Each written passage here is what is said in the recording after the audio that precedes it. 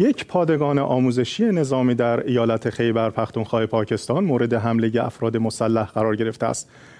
پلیس پاکستان گفته است که این حمله که تو با انفجار همراه بود روز جمعه سی تیر رخ داده که در آن یک نفر جان باخته و ده تن دیگر هم زخمی شدند. تا کنون هیچ گروهی مسئولیت این حادثه را به عهده نگرفته است. با این حال در 48 ساعت گذشته این چهارمین حمله تروریستی در ایالت خیبر پختونخوا پاکستان است که نیروهای امنیتی و پلیس را هدف قرار داده است. طی دو روز اخیر پنج نیروی پلیس در این ایالت کشته و دوازده تن دیگر هم زخمی شدند. از سوی رسانه های پاکستانی گزارش دادند از آغاز سال جاری میلادی تا کنون دست کم 146 نیروی پلیس در ایالت خیبر پختونخوا پاکستان در حملات تروریستی مختلف کشته شدند.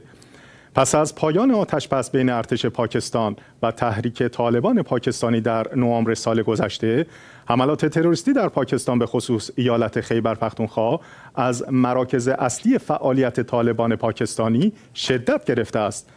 دولت پاکستان تا کنون بارها از طالبان افغانستان بابت حمایت از این گروه انتقاد کرده است.